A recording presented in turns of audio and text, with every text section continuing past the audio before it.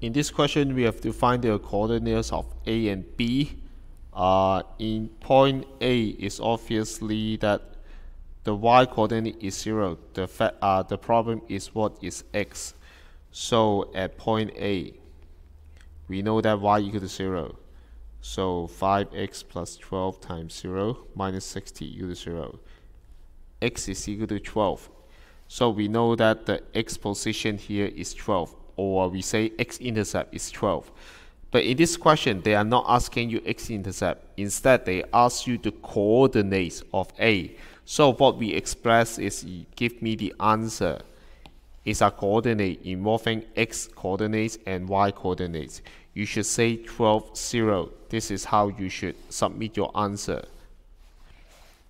And then uh, at point B now, just exactly the same, but this time the left right position is 0 so 0 and then the unknown height. So x is equal to 0 which is given by the graph. 5 times 0 plus 12 times y minus 60 equals 0 y equal to 5 so the height here is 5 we say that b is 0 5 in part B, they ask you to find out the area uh, rectangular coordinates, the best thing is the greatest advantage is we can find out perpendicular by horizontal and vertical. So from 0 to 12 the distance is 12.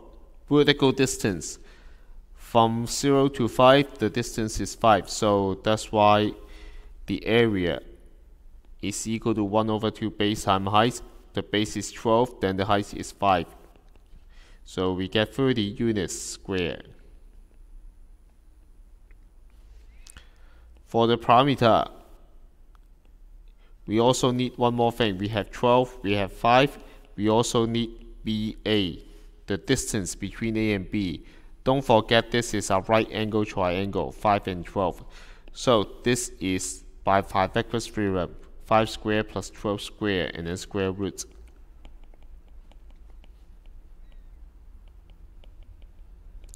And this is a very common ratio. It gives you 13.